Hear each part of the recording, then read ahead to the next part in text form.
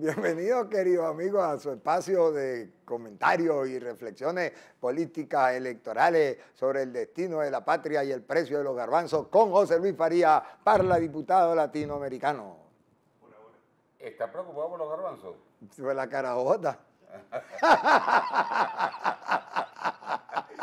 Ah. Eh, sí. Él- él- él Y siempre- Ricardo Río, este tipo no me presenta. Yo he visto seis programas seguidos y nunca dice, y Ricardo Río, el brillante, asunto, ¿vale? el brillante analista político. Dale, Brillante político, analista y matemático, Ricardo Río. en la tecla. Tú mira, cuatro echamos en, uno, en, uno, en una columna Ajá. y un tipo en el medio que siempre era el caribeado. Y entonces uno le decía, tiene fuego, ¿dónde está la candelita? Y uno decía, pero yo fumea. Y entonces cuando el hombre volteaba, le cambiaban la regla de juego. Ese juego ha sido recuperado para la infancia venezolana por el señor presidente de la República para atacar el problema de Guyana. Cada vez, cada vez que, va, cada vez que va a la asamblea, le cambian la regla de juego y no va. El tipo, ¿Qué es eso? yo no sé, chico, de verdad. Este tipo es realmente Bueno, perdón. Mire, perdón, yo no- perdón, yo- perdón, pero corrijo mi expresión. El señor presidente. señor presidente, la primera magistratura hay que tratarla con respeto de una nación. No, no, ya sé que uno le toque y la, No, ya la mañana- encuentre. Mañana la- tú seas presidente o la- yo. la cualquiera de los dos, pues. La encuentre entonces mi riadita ahí. Entonces mira, está el tipo ese. No, no, Que agarra no. esa- esa La verdad que eso no puede hacer. No, no, De no. verdad. Pedimos disculpas. No, porque pedimos el chance de mandar para que tú veas cómo se hace. Así es. Pero bueno, en todo caso, él va a resolver vía que la candelita Él le dice a, el a la asunto ex. de, de Guyana. Él le dice a la ¿Ah? ex, mira, tú estás perforando aquí. They are je- fumea, they are fumea, they are, sí. they are is smoking. Claro, pero, pero ajá, ¿y ahora qué, qué va a pasar allí? Porque él dice que es la Exxon. ¿Y los rusos? Los rusos también juegan. Ah. No, bueno, no, también taladran. Por eso. Están explorando. Y lo los que chinos, se ni hicieron los chinos. Ah, y los cubanos, Eh, cobraron. Ahí, detrás, cobraron. están Eso no, detrás a nivel de marioneta. eso no tienen nada en el entonces, medio. cae aquí. Ah, en Caqui, así lo tiene. Lo- aquí. en Cuba la gente da la mano así para ahorrarse el trámite de saludar y pedir una vez. Sí, Sí, sí, Así tienen que hacer dos un movimientos. solo dolor. Y, eh, Bueno, lo cierto es que Maduro no va para la asamblea. otra vez, entonces nosotros nos metimos aquel Ma- puñal. Maduro se parece a aquellos anuncios que estaba haciendo Chugo el miércoles. El Ay, miércoles. El Chugo, oye, el El Chugo. ma- Mauro dice, el martes, el martes. No, y, Chugo decía, el miércoles. Chugo está estresado, ¿verdad? Sí, ¿qué pasó? A mí me da la impresión, yo lo escuché en estos días allá en el, en el acto de la ¿Está colina. estresado? Sentí estresado. eh, tiene tres. Estrés, estresado, está ponchado, va a cambio de inning. Bueno, Bueno, lo, vi, lo dicen. vi tenso, lo vi tenso. Bueno, lo cierto es que nosotros metimos un puñal para discutir de Rupununi para allá y de la, de la- y de la avenida Washington con la Bolívar que que queda en el medio de Georgetown, o conocemos todito Guyana, palo por palo, moquito por moquito. Y el hombre nos pasó el programa, ¿ahora de qué hablamos? Bueno, no sé. vamos Yo estaba listo para comentar en la que no, pero yo creo que aquí hay que hablar es de la presencia relevantísima, superlativísima de la señora fiscal, ¿vale? En la ONU. Pero parece que eh, No, está, la señora fiscal en la ONU. está brava, pues no la dejaron hacer shopping, que ella No, le encanta. acá hay una gente allí. Sí, señor, porque estaba brava, porque no la dejaron hacer shopping. Ella siempre compra su corotico cuando viaja. A los re- Pero bueno, lo que sí hizo la señora fiscal es hacer afirmaciones que aquí se respeta el derecho a la vida, el, de- el derecho a, a disentir, a opinar, la gente puede decir lo que quiera y no lo meten preso ni le cierran el periódico, ni le, más, le dan papel pues, para que la gente... eh, ella tiene doble, ella yo creo que tiene, gratis.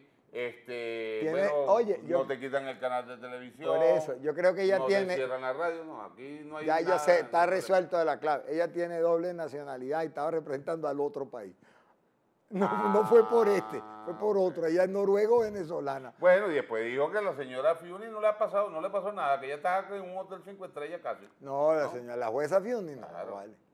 Esa- no, pero tú sabes que los jueces son paranoicos y tienen delirios esquizoides donde se les aparecen esos fantasmas. Y después vienen periodistas de derecha desestabilizadores como Olivares, le recogen los datos y escriben un bestseller para enriquecerse con la enfermedad de la jueza. Aprovechándose del dolor ajeno. ¿Hasta dónde da el cinismo de esta mujer, vale? De verdad, eso es caredurismo. De verdad. Bueno, o sea, tiene la eso- cara dura, ¿no? Se Sí, pero así, firme, firme, firme. Y además no es pues, así, rígida. Sí, No es como la palma en el llano, que la bambolea el viento. Bueno, pero esa señora de verdad que se, se, se sintió, se sintió muy mal porque la cantidad de preguntas que le hicieron. La- Perruda. de- pero bueno, ya se debe sentir honrada porque ese poco de periodistas sabían tanto detalle de los derechos humanos en Venezuela, de las tumbas. Pero sab- que esos fueron los chismosos, los chismosos de la ONE, de Provea, de todo, todo- todas esas de organizaciones desestabilizadoras financiadas por la que, National, los datos a, National Endowment esa no sé qué. para que preguntara y le ¿Cómo se hiciera llama? pasar un mal rato a la señora fiscal, cosa que no nos parece justo porque ella, ella fue con las mejores buenas intenciones. No, y no tenía tiempo, le hicieron declarar esta y ella tenía que hacer las compras. Claro, eso le molestó. Y ya habían cerrado la... Ya estaban por cerrar Sara y eso, no sé dónde es que ella compra. Ajá. Sí. Porque ella aparece, Ella aparece siempre con su bolsita. con y su bolsita. Aunque ahora está mandando al muchachito ese que van a agarrar mala fama, muchachito, porque te está poniendo a comprar zapatos. Él, él le dicen, vi unos zapatos dorados que están allá atrásito. Y el hombre va, I want to buy that shoes. ¿Quién es ese? el pana que hace, tú sabes. Si fuera filia Fox, le, le dirían picaporte.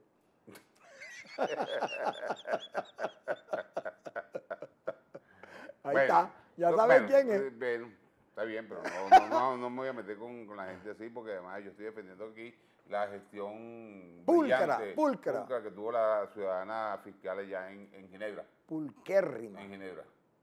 Pulquérrima. Ginebra, ¿no? Sí, pues en Ginebra. Ahí es donde queda el Comité de Derechos Humanos. Derechos Y la, OTI también está ahí. Sí. La OTI. Y hay un chorrito, hay un- lago bien bonito con un chorrito en el medio así.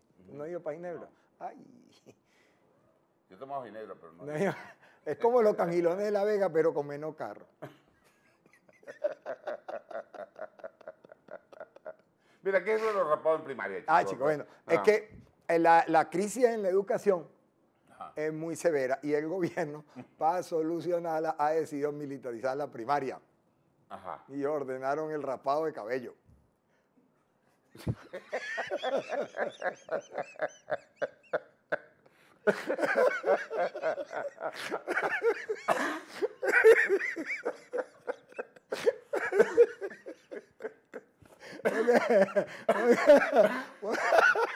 Porque realmente el hombre no le preguntaban por Cuba y respondía por el, man- por el aguacate. No, él sabía que, que había que estudiar, pero se lo aprendió desordenado. Sí, como ahí mismo. Que sí, pues, exacto, eh, como el con la hormiguita y el, El elefante. elefante, el elefante. ese, Ah. ese. Y entonces el hombre se aprendió. No, salieron rapados en primaria. Ahí está clarito, ya no va a haber más problemas de cupo porque el gobierno está rapado en primaria. Ninguno de los números le cuadran, ya, ya la gente... lo- Bueno, pero por el- esa razón es que los tipos están retrasando la... la entonces, ¿te recuerdan que la señora fiscal, eh, la- hace ya varios días atrás, dijo, bueno, y aquí el 50 paridad del género y la paridad, y la, la paridad, la paridad de género que la señora impuso se convirtió en paridera de género en el seno del PSUV porque no completaban Le dijo- el asunto. Entonces, ella anunció, leyó un artículo, dijo paridad y eh, paritario y alterno. ¿Cómo se llama el tipo de- La presencia de las mujeres, pero después, ahora resulta que como al PSUV no le cuadra, entonces nadie encuentra el reglamento. No, paridad con dolor, dice el, el reglamento. Paridad, Paridad- paridad con, paridad con dolor. ¿Cómo se llama un tipo de la Dirección Nacional del PSUV, que es diputado, que apuntó por Katia y no ganó? Tipo que, que es muy moderado al hablar, por cierto, a mí me agrada su... Uno cabeza blanca. Ese, Ah, ese. Es Eduardo Piñate. Ah, Piñate, Piñate, Piñate. ¿Sabes, ¿Tú sabes quién es Eduardo Piñate? No, Pi- Eduardo Piñate era, el era uno- el- el jefe- un jefe político de, de Maduro. En la Liga de la liga. Sí, Ah, no, por eso es que yo le sé, pero el tipo es muy moderado hablando, Claro, muy, claro. muy agradable. Él, es, él es de la Guaira, él fue alumno mío incluso. Ah, ya veo. Lo que pasa es que tiene la cabeza blanca y yo no. Coge. Pero, pero fue alumno mío. Bueno, porque no ha conseguido el higotinte de Schwarzkopf. No, aquí no hay nada de eso. Mira, este, él dijo y lo preguntaron por eso. No, pero rodó, vale. pero, pero ¿tú viste la entrevista? Rodó él y, y que hay hubo otro famoso que rodó. Bueno, perdió, sí, perdió. Pues el único que perdió del madurismo fue él, pero pues no le podía ganar. Claro, pero, pero él era, él era, Pero él lo era jefe. Maduro, él era jefe Bueno, Maduro. pero tú sabes cómo es Maduro con su jefe. Ahí tiene Julio Bueno, Escalona. porque tú veas, Y- pues. y a o sea, no Bataglini. todo el que apoyó Maduro ganó, ¿verdad? Pues, Y eso es prueba de que las cosas El- eh, se hicieron de yo- manera... Yo lo diría al revés, el único que apoyó Maduro y ganó fue Villeguita. Ah, sí, Maduro salió zapateado, Jorge Rodríguez, pues, perdió todo en Caracas, le dieron un zapatero. Bueno, imagínate. Bueno, pero eso viene después, pues todavía no hemos recogido todos esos datos. Él dijo esta mañana en Globovisión, cuando le preguntaron, mira, pero ¿y cómo vas a hacer con la paridad? Porque eligieron nada más que 29. ah, no, pero eso es en la intención. Nosotros pusimos uno y uno en la elección, pero la cuenta no Ah. dieron. Ah, no, pero ya está, ya no hacemos más nada. No, y en los suplentes se empareja, porque vamos a ver si sumando resta para que cuadre la división. Pero, Yo me pero, pero, visto no, pero, todos los ah, Víctor Clar, está buscando el otro. No, no, pero ese sí quedó. No, Víctor Clar y, ¿Perdió? también perdió. Víctor Clark. Víctor Clar. Víctor Clar es, es- Sí, yo sé quién es, yo sí, sé quién es. socio, panita así de, de Sánchez.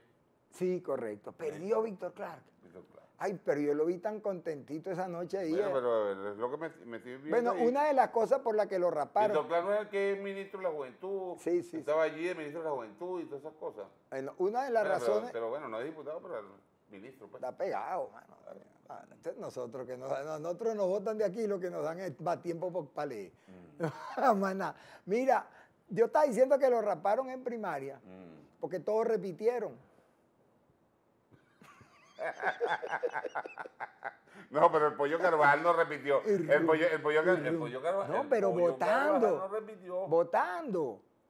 Ah, no, ah, chicos, sí, es verdad. No, pero eso fue, eso fue como un Por- carrusel. y el como un carrusel, el carrusel la- de la- la primaria roja. A la víbora de la mar. Y entonces, Empezaba a dar vuelta y vuelta. Y decía, bueno, pero ese, ese gordito no lo vi yo temprano. ah, Bueno, bueno, pero es que él fue para su casa, comió y volvió. Por eso Y después es- pero lo volví a ver y después lo volviste a ver. La de la Sí, pero franelita no, pero rosada no, ajá, pero no, en es, es que después que comió, tú sabes que le dolió un poquito de estómago, fue para su casa y volvió otra vez y se metió en la cola. bueno, por eso Ah. es que todos votaban con la mano en los bolsillos. Ahora entiendo por qué hacía tanto frío en el Guárico. tipo con la mano en los bolsillos Claro, para taparse el dedito. dice, bueno, ¿y dónde está el dedo morado? Y por eso fue que dieron los datos de votos y no de votantes. Y ahora están diciendo, bueno, fueron votos de votantes que cuando votaron, votaban. Es que fue pura, pura lo que era Piñates hoy. Se estaba totalmente, Piñate. sí, porque como Bueno, estaba, vale, pero con ese... Con ese guayabón. guay- Tiene un guayabo. no, sí lo tenía. Él decía, ¿cómo estás tú? Muy contento, muy contento. Una sonrisa cochino Pues amarrado. No estaba triste, ¿Y pero quién le ganó a él? Bernal. Bernal. ¿Y quién más ganó? Mm, ¿En Katia? eh, no, eran dos, eran Bernal y Y Villeguita. Villeguita. Y Villeguiti perdió Piñate. Que ellos iban a sacar a Bernal y Bernal dijo, yo me salgo de la policía, regreso, te manejo con la zurda, con la mano amarrecha, amarrada atrás y todavía te gano. Y le ganó. Y le ganó. Y le sacó aquel tranco de video a, a, Villeguita. Bueno, pero lo cierto es que informan nuestros informantes, nuestros patriotas cooperantes del PSV que tienen la piedra afuera, de la cantidad de embustes que le metieron, que no le creen y que le aumentaron la depresión porque le quieren alegrar con mentiras, que dieron vueltica, rotaron gente y tuvieron lo que se llama la votación gitana. Los montaban en un camión, vota aquí, otro camión, vota allá, otro camión, vota allá. Mete el dedo aquí. Mete el dedo, no, o sea, tanto no llegué. Pero, ¿qué te parece? De Ah. repente en ciertas zonas cambiaron hasta las mesas electorales. ¿Ah, Porque, sí, no, los señores, pues, ¿cómo se llama? Llegó el relevo. No, pero yo no he terminado. Que el No, relevo. vale, yo llevo siete innings y me faltan dos. el relevo, para afuera. No, que no hay extra inning. Sí hay extra inning porque allí dura hasta las 10 de la noche. Bueno, y ahí se les enredó la vida y ahora tienen el problema de que con el- no, no pueden contar, no pueden mandar revisar acta. La gente en el Zulia denunció corrupción, robo, trampa Sí, y no sí, sé sí. qué, bien fuerte. También en el, en, ah, donde tú dijiste ahí que hubo una pelea que en Chacao y en, en, eh, ¿cómo se llama? Guarataro. Al, en Guarataro fue la, fueron los malandros que secuestraron a los, a los guardias. Pero en el Fermín Toro, en el Fermín Toro, no sé cuál era el candidato, estaba parado en la puerta haciendo propaganda, lo mandaron a callar y le dijo, tú me vuelves a mandar a callar y te despido. Toma tu tomate, Sí, toma tu tomate. así es. El tipo que era fiscal, bueno, un funcionario honesto, eso debe quedar alguno, él y otro más. Y entonces salió y le dijo, mira amigo, usted está violando la regla 6, 7 y 4, le tú me vuelves a callar y te voto. Y el hombre dijo, ¿qué Te va? quedas sin arepa. Mijo, no hay nada más feo que el hambre, se metió para adentro. Se metió para afuera. se metió Pa' pa' afuera, adentro. pero, pero, pero él venía a veces Se metido metió para pa' adentro. Él adentro. se venía a veces metido para Adentro, afuera. para allá, para atrás se fue. Digo, no. Digo, me meto para Ahí metía para adentro y ahí metía para afuera. No, Dale. porque hay, hay para meterse para lo hondo, que fue lo que casi quería pasar y se escapó. Hay una crisis auténtica en todas partes porque se acabó la silicona, los implantes, la peluca y el lápiz labial. ¿Y e- ese no es un bisoñé? No, este- este- mira, se mueve, mira, se mueve. porque este, un pocotón de gente anda poniéndose, yo están diciendo la consigna, liberen la mujer que hay en mí, para decir que ande diputado. Pero, pero No es que una de las cosas, una de las cosas no hayan cómicas- Una de liberar. las cosas cómicas, que yo, yo no voy a mencionar gente, pero, pero si alguien dijo por allí, no vale, pero, pero nosotros nos preocupa eso, porque mujeres tenemos de sobra en la oposición. Y entonces alguien se dice, bueno, ¿y por qué no la habían puesto hace rato? Claro. Claro. Ahora, lo raro es que no hay una sola, la única mujer que ha protestado hasta ahora, incluso fue una señora mayor, ella, que salió ayer en la radio, que además ha hecho un chisme y dijo, a mí no me van a aplicar esa de meter la esposa de los, par- de los políticos, ponen mujeres y se señaló a sí misma, sé que los políticos están casados con hombres. o sea, que se refería a una señora furiosa de la oposición, de la Comisión de Mujeres de la, de la MUN. Sí, sí, sí. ¿Quién es ella? No sé, no, no, no, no recuerdo, no, pero es que, no, claro, porque eh, la gente dice, bueno, así como fulano puso la esposa, sultano a la otra esposa y mengano a la esposita, bueno, entonces ahora todo el mundo está diciendo, bueno, y ahora el diputado que se quedó sin la chapa, porque lo van a mover, entonces dice, bueno, yo tengo una novia por ahí, pero tú no eres casado, no, o sea, que tengo una novia. Una Oye, pero yo sí estoy frito, porque yo soy, mira, divorciado, vivo solo. No soy gay porque no soy. ¿Qué hago yo? Ah, Yo ahora, mm, yo ahora mm, cuando mm, salgo, cuando salgo para la calle me dicen, ¿tú eres gay? No, yo no. Ay, papá. Entonces, los patrones han cambiado. No, ni, ni- no soy LGTBI de HRZ. Entonces, por ahí no voy. No. Por negro, tampoco. Por joven pude haber ido, pero hace tiempo. Yo no puedo aspirar a nada. Yo lo que me voy a retirar de la política. Bueno, pero es así. No tengo nada, no tengo espacio. Tú que acabas de tener, tú tienes tremendo currículum, uy, uy, como diputado. como diputado. Y no te pusieron en la plancha. Luis Emilio Rondón, que es secretario general de un nuevo tiempo, está pidiendo empleo a su hijo. Méteme de asesor, que estoy mamando. No está, es diputado. ¿no? No. Bueno, a menos que hayan emparejado la renta en estos tres días. Ayer- hasta ayer no estaba. En los linchers ahí se comentaba, uy, niño, volaron a Luis Emilio. Ajá.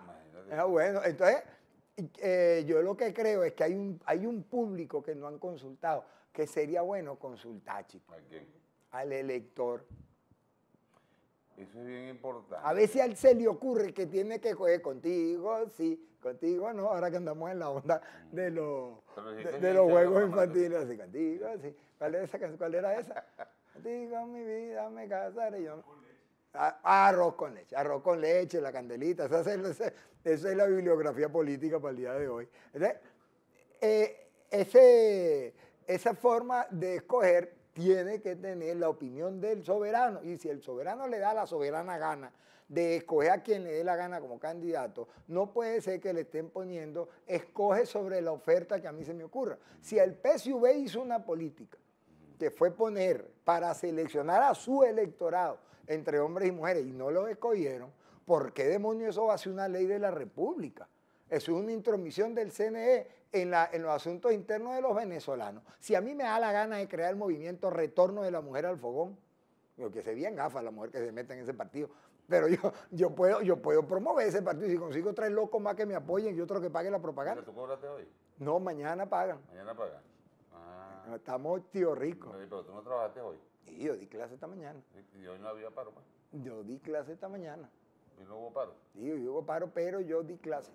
No en la universidad, Ah, claro. pero yo di clase porque me entrevisté con los tecitas que vienen del Ah, interior, otra que vienen una sola vez a la semana. Yo se lo he explicado mil veces a los compañeros. Ese pedazo no se puede hacer paro. Yo Pero, pero hubo paro. Y hubo paro y bien grande. Sí. Y la asamblea bien llena y bien combativa porque nos quieren aplicar la reducción salarial achatando nuevamente. Y tú sabes quién está súper alzado. El líder de los esquiroles, que ahora le... le- le- Carlos López. No, el otro, te- tele- telema con no sé qué, arroba R Ricardo Río 1. Arroba José Luis Farías. Farías José Luis. Me olvidé.